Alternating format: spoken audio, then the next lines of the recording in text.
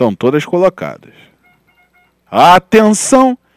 Largada para o terceiro páreo do programa, René Pot vai avançando, avança Vivian Lee, René Pot livrou um corpo de vantagem. Vivian Lee em segundo, lá por fora força dá o surprise, tenta a terceira, tomou a terceira, avança junto com Bruna e lutam pela segunda colocação. A René Pot floreando na frente, dois e três corpos, dá o surprise em segundo, lá por fora Vivian Lee em terceiro, por dentro Bruna em quarto, atacada por fora pela Bala Jujuba, que vai na quinta colocação. Elas vão terminando a reta oposta e trocando a orelhinha, floreando Floreando na frente a Honey Pot tem dois corpos, dá o surprise em segundo. Vivian ali em terceiro, Bala Jujuba agora vai tomando a quarta, deixou por dentro em quinto a Bruna. Vão passando pela seta dos 700, Honey Pot ponteia. Lá por fora Vivian Lee avança para tentar a segunda colocação. Bala Jujuba tentando se aproximar, contorna a curva de chegada. Entram pela reta final a 600 do vencedor e lá por dentro Honey Pot entrou ponteando com dois e três corpos. Vivian Lee avança por fora, tenta a primeira, a, a tenta a segunda, porque a Honey Pot tem dois e 3.